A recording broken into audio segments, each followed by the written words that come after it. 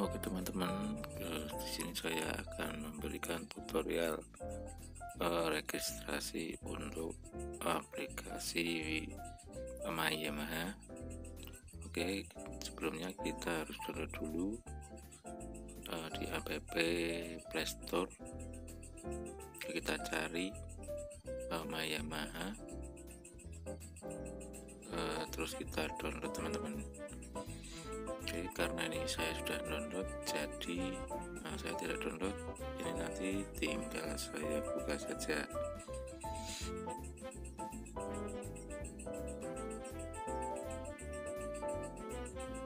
Oke kita buka oh, kita tunggu loading dulu. Oke masih loading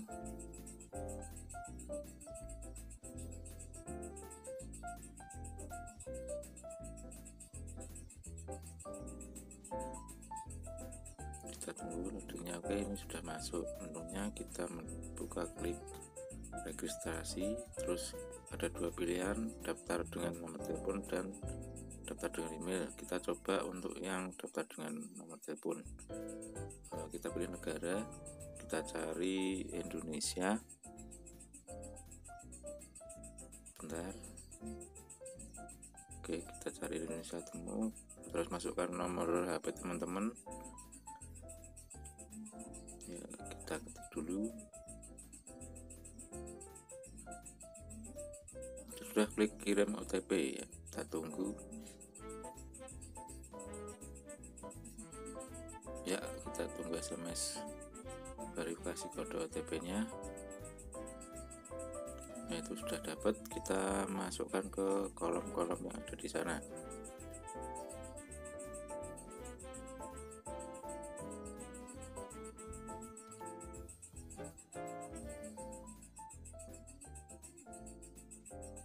Oke kita masukkan dulu. Terus kita pencet verifikasi kode OTP kita tunggu dulu prosesnya. Oke setelah itu kita atur ke atas tadi teman-teman ya. E, diingat jangan sampai lupa ya kita bikin kata sandinya ini kita hour saja ya. Ini pakai data aur-auran aja. Terus tanggal lahir hari lahir tanggal terus bulan dan tahun. Ini juga uh, saya bikin asal saja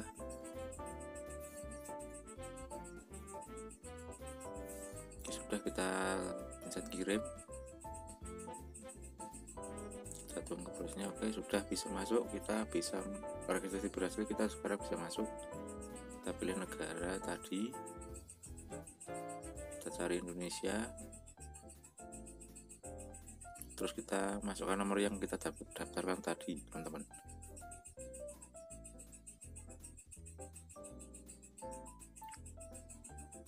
sudah kita masukkan sandinya yang kita bikin tadi juga. Terus kita klik masuk. Kita tunggu loadingnya lama banget ini. Oke terus kita isi kelengkapan data pribadi. Ini ditulis silakan monggo. Ditulis. Bebas. Terus kita pilih Indonesia negaranya terus kita centang kita channel lagi. Terus kita klik kirim.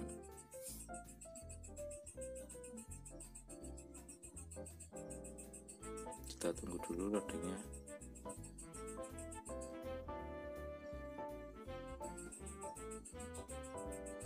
Nah ini sudah masuk teman-teman. Terus kita mulai pencet mulai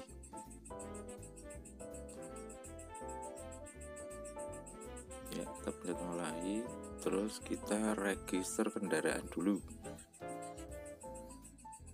Nah kita pencet yang plus di atas itu. Nah kita isi nomor rangka teman-teman. Ini nomor rangka berdasarkan STNK saja teman-teman ya. Terus nomor HP nya tadi lagi. Oh sebelumnya ini kita mulai otomatis di untuk Yamaha di klik kanan terus nomor HP oh, apa? Nomor nomor rangka kita isi dulu.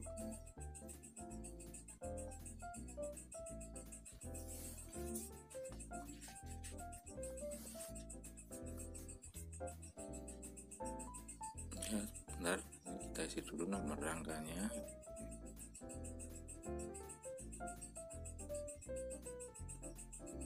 berpatokan dengan STNK ya teman ini.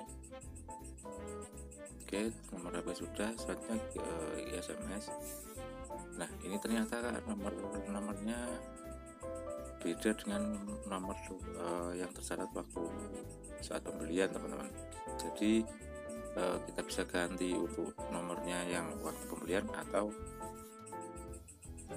dirubah ya.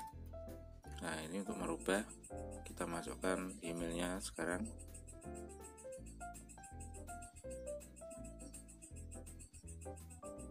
Oke.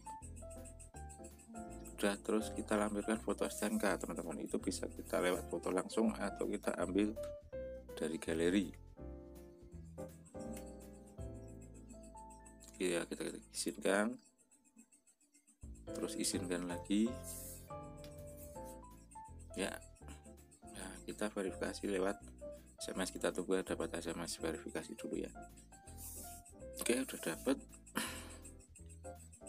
uh, kita masukkan nomornya nomor verifikasinya. Oke sudah. Kita ketik oke. Ketik izinkan lagi klik. Ya tampilannya sudah muncul teman-teman. Ini adalah tampilan uh, registrasi kendaraan masih proses teman-teman jadi ini masih beberapa saat